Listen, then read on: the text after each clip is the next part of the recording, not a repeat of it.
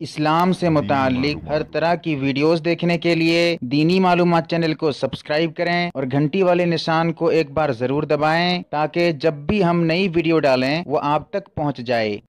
بسم اللہ الرحمن الرحیم۔ عید اور بقر عید کی نماز کا طریقہ۔ یہاں میں مکمل طریقہ بتاؤں گا۔ اور آپ اگر دیکھنا چاہیں تو فتح ہندیہ کھولیے گا، جلد نمبر ایک، صفحہ نمبر ایک سو پچاس پہ۔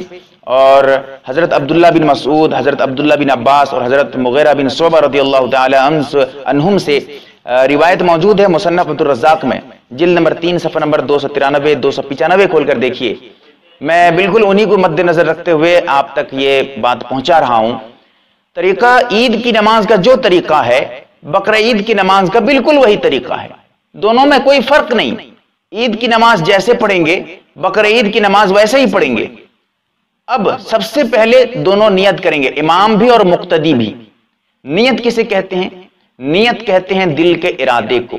دل میں جو ارادہ ہے، اسے ہی نیت کہتے ہیں۔ دل میں ارادہ ہے کہ میں عید کی نماز پڑھ رہا ہوں۔ بس نماز آپ کی نیت ہو گئی۔ اسے کی، اسے ہی نیت کہیں گے۔ زبان سے ادا کرنا کوئی ضروری نہیں ہے۔ اگر کوئی زبان سے ادا کرنا چاہے تو کر سکتا ہے، لیکن ضروری نہ سمجھے۔ اور اگر کوئی زبان سے ادا کرنا چاہتا ہے تو اس طرح کرے، جو امام ہے وہ نیت کرے کہ میں چھ زائد تکبیرات کے ساتھ عید کی دو رکعت نماز پڑھا رہا ہوں، میرا رخ کعبہ شریف کی طرف اللہ اکبر کہہ کے ہاتھ باندھے گا۔ اور مقتدی جو ہیں وہ کہیں گے کہ میں بھی جو ہے چھ رکعت، چھ زائد تکبیر کے ساتھ دو رکعت، چھ زائد تکبیر کے ساتھ دو رکعت نماز، عید کی نماز یا بقر عید کی نماز پڑھ رہا ہوں، جو بھی نماز ہو، نماز پڑھ رہا ہوں، دو رکعت نماز پڑھ رہا ہوں، امام کے پیچھے پڑھ رہا ہوں، میرا رخ کعبہ شریف کی طرف اللہ اکبر کہہ کے ہاتھ باندھیں گے۔ پہلے امام اللہ اکبر کہہ کے ہاتھ باندھیں گا، پھر اس کے بعد مقتدی اللہ اکبر کہہ کے ہاتھ باندھیں گے۔ یہیں پر غلطی کر جاتے ہیں۔ بعض حضرات امام سے پہلے اللہ اکبر کہہ کے ہاتھ باندھ لیتے ہیں۔ یاد رکھے اگر امام سے پہلے آپ اللہ اکبر کہہ کے ہاتھ باندھیں گے، تو آپ کی نماز نہیں ہوگی۔ اسی لیے اس کا خیال ضروری ہے۔ پہلے امام اللہ اکبر کہہ کے ہاتھ باندھے گا، پھر اس کے بعد آپ اللہ اکبر کہہ کے ہاتھ باندھیں گے۔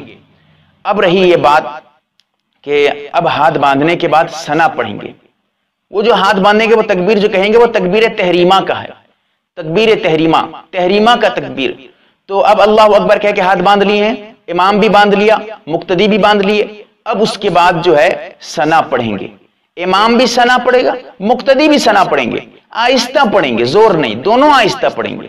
پھر اس کے بعد اللہ اکبر کہہ کے کانوں تک ہاتھ اٹھائیں گے اور ہاتھ چھوڑ دیں گے۔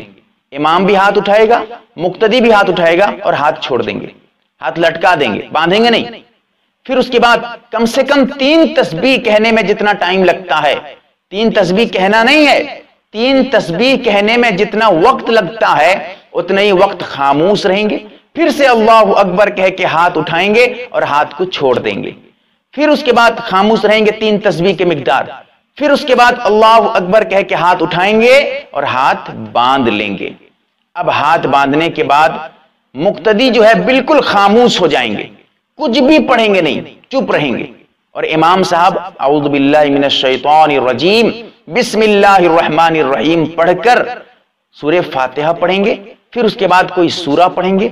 اب سورہ فاتحہ پڑھنے کے بعد، سورہ پڑھنے کے بعد اللہ اکبر کہہ کے رکو میں چلے جائیں گے۔ ہاتھ بات اٹھانا نہیں ہے، صرف اللہ اکبر کہہ کے رکو میں چلے جانا ہے۔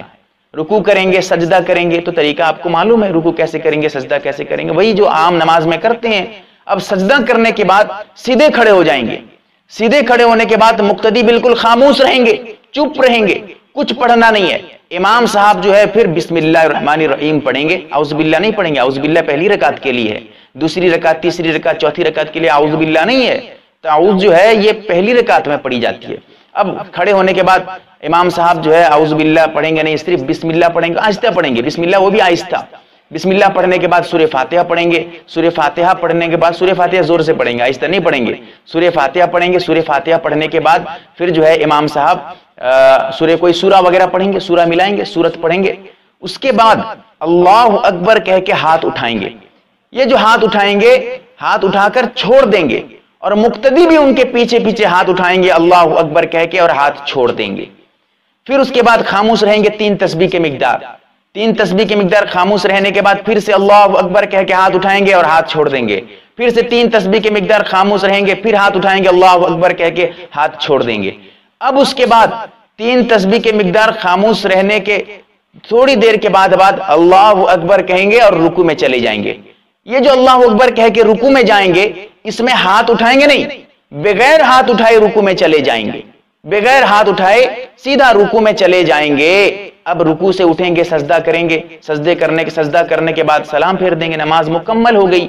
یہیں پر کچھ باتیں بتا دوں آپ کو کہ پہلی رکعت میں بھی تین مرتبہ تکبیر زیادہ کیے تھے۔ تکبیر جو ہے زیادہ تکبیر، زائد تکبیر تین بار۔